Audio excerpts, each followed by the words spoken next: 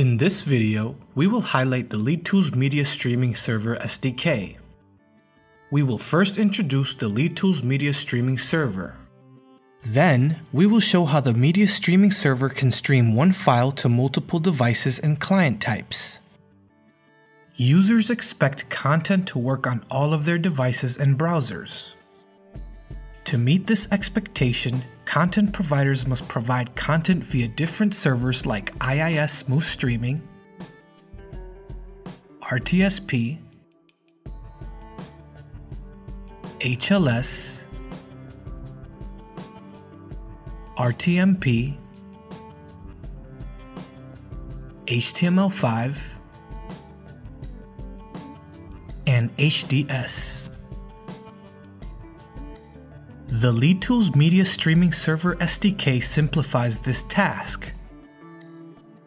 With one source file, the Media Server SDK can support all of these clients and provide dynamic bandwidth for protocols that support it.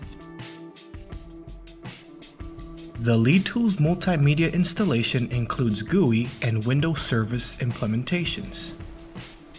All of the features that can be set in the GUI may be set in the service implementation by editing an XML settings file.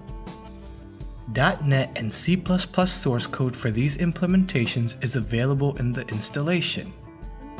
Now, let's take a look at the features of the LeadTools Media Streaming Server demonstration.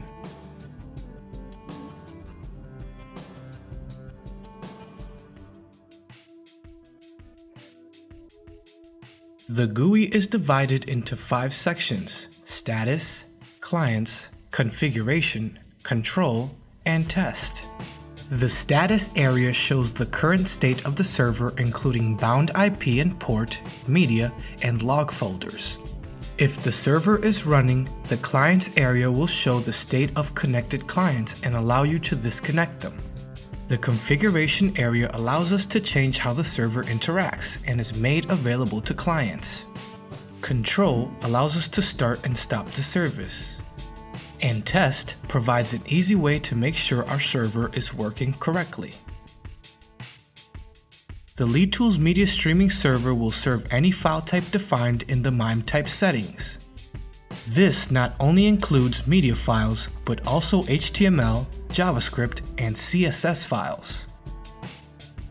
Notice how there is only one file in the VOD folder. One file is all the Media Server SDK needs to stream to multiple devices and clients. Now that we have reviewed the configuration, let's start the server and test it. To test, we just need to click the browser button in the test area. The media server can be used to stream audio and video files to a variety of devices using various streaming protocols, such as RTSP for any application that supports RTSP including web browsers with the Apple QuickTime or VLC RTSP plugin. Adobe Flash RTMP for any web browser that has Adobe Flash. Adobe HTTP Dynamic Streaming Apple HTTP Live Streaming, supported by Windows 10, Android version 4 and up, and the only way to deliver advanced streaming to Apple devices. Microsoft Smooth Streaming for web browsers with Microsoft Silverlight. HTML5 Video for modern PC and mobile web browsers. MPEG Dash for any web browser that supports the WC3 media source extensions. Thanks for watching. We hope you enjoyed learning more about the LeadTools Media Streaming Server SDK and how it can help you rapidly and cost-effectively implement a streaming server with support for all of today's most popular streaming formats and devices. For more information and to download our free 60-day evaluation, please visit us at www.leadtools.com.